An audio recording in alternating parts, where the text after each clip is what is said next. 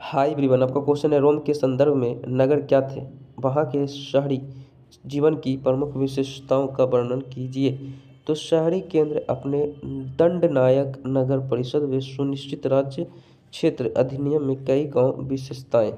कई गाँव विशेषताएँ, पहला, खाने की कमी नहीं, सार्वजनिक स्नान गृह इसी तरह अकाल में भी बेहतर सुविधा, मनोरंजन के साधन। So thank you